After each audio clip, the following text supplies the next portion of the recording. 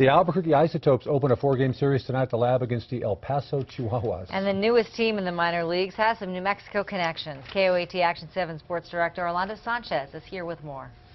For the first time, the Albuquerque Isotopes play a game against the El Paso Chihuahuas, the minor league affiliate of the San Diego Padres. The team made the move from Tucson to El Paso and is still a member of the Pacific Coast League. If you're wondering how they came up with the name, it was submitted and voted on by the fans. Less than an hour ago, the Chihuahuas finished up batting practice at the lab, and a couple of players on the squad are very familiar with the 505. Pitcher Bobby LaFromboise is a former Lobo, while first baseman Kyle Blank Blanks is a Moriarty High School graduate who spent time in the big leagues, playing a career-high 88 games last season with the Padres. The goal is to, to get to the big leagues, and um, you know, myself included, it's uh, regardless of where you start, you know, it's where you finish. So um, really just want to continue doing well, and, and um, you know, if everything falls in line, maybe get back up there sooner than later.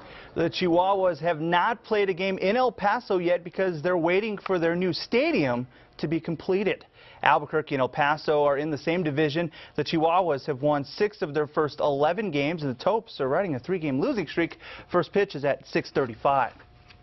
And the Isotopes are paying tribute to the Negro League by wearing replica jerseys from the early to mid-1900s. On this day, 67 years ago, Jackie Robinson became the first African American to play in Major League Baseball.